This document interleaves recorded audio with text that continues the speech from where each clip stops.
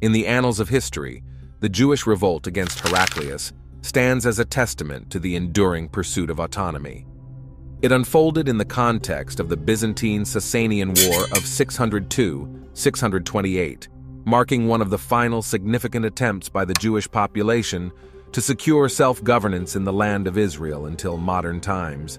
Amidst this turbulent backdrop, a unique climatic phenomenon known as the Late Antique Little Ice Age cast a chilling shadow over the classic empires, ushering in a period of demographic decline and economic collapse across the Near East. As empires waned, opportunistic forces like the Muslim Arabs and Turks began to rise. The saga of this revolt begins with the Battle of Antioch in 613, where Sharbaraz, a Sasanian Persian general, led his forces through the provinces of Palestina Secunda and Palestina Prima. In 614, he laid siege to Caesarea Maritima, the administrative capital of Palestina Prima. This Persian campaign was not alone. It was bolstered by Jewish forces under the leadership of Nehemiah ben Hushiel and Benjamin of Tiberias. Jerusalem fell to this alliance without resistance, creating a brief interlude of Jewish control. However, this Jewish ascendancy was short-lived, as a Christian revolt erupted after a few months. In the ensuing turmoil, Nehemiah ben Hushiel and his Council of Sixteen were killed, alongside many other Jews who chose to take their own lives rather than submit to their Christian adversaries.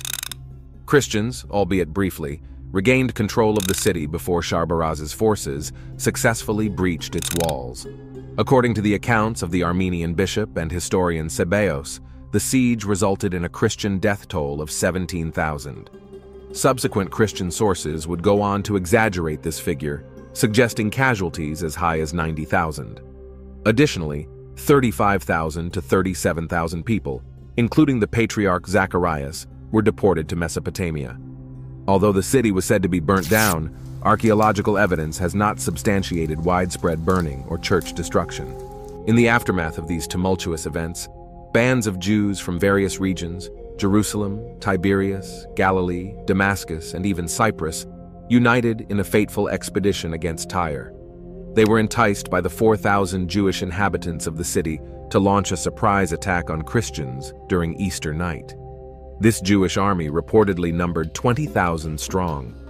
However, the mission was foiled as the Christians of Tyre got wind of the impending danger, capturing the 4,000 Tyrian Jews as hostages. The invaders retaliated by destroying churches, prompting Christians to exact revenge by killing 2,000 of their Jewish prisoners. In a bid to save the remaining captives, the besiegers withdrew, unable to prevent the horrific spectacle of Jewish captives' heads being thrown over the city walls. The motivation behind these events lay in the hopes of the Jewish population for the Sasanian Persian ruler, Khosrau II, to grant them control over the entire land of Israel in exchange for their support.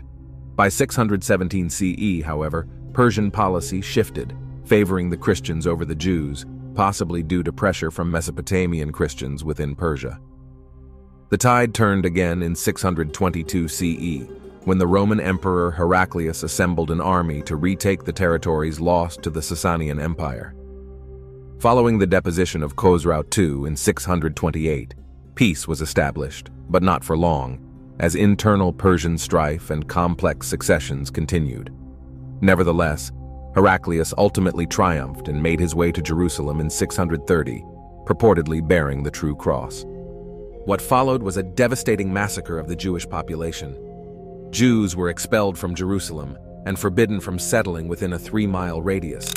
It is said that only those Jews who could escape to the mountains or Egypt were spared the bloodshed. Heraclius had come as a victor into the land, but the aftermath left an indelible mark on the Jewish communities of the Galilee and Jerusalem. While the historical narrative suggests that this war weakened the Christian population, paving the way for the Arab invasion that followed, archaeological evidence has not entirely corroborated the extent of Christian devastation in Jerusalem. The tale of the Jewish revolt against Heraclius, with its shifting alliances and tragic consequences, serves as a poignant reminder of the intricate dynamics that shaped the fate of the Near East during this pivotal period in history.